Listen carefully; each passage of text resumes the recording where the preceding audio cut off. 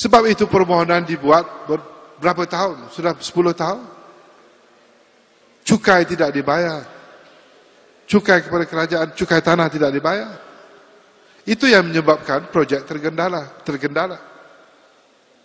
Jadi kalau soal janji tuan-tuan dan puan banyak.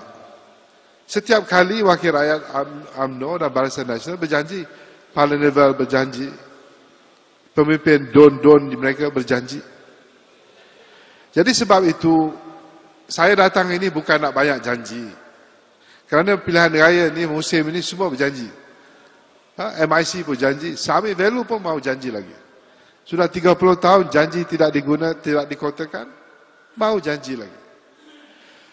Saya hanya ingin memberi mengharapkan peluang untuk orang kawasan ini di kawasan Serendah, kawasan Bukit Beruntung, kawasan Ulu Selangor ini memberi kepercayaan kepada saya bahawa oleh kerana saya sentiasa berpegang kepada prinsip yang tegas dan jelas.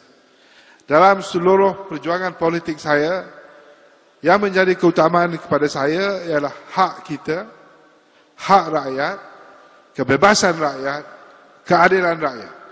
Inilah tema yang saya perjuangkan walaupun saya dalam UMNO.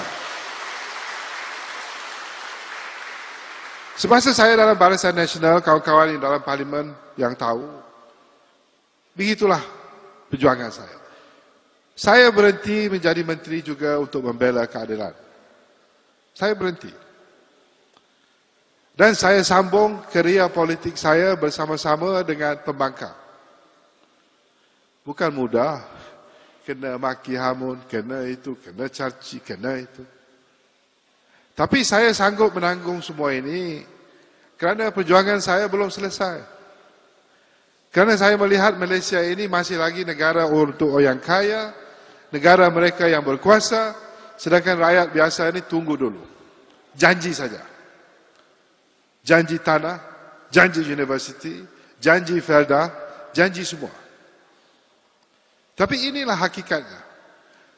Kalau hari ini kita rakyat Malaysia tidak mahu menuntut hak kita.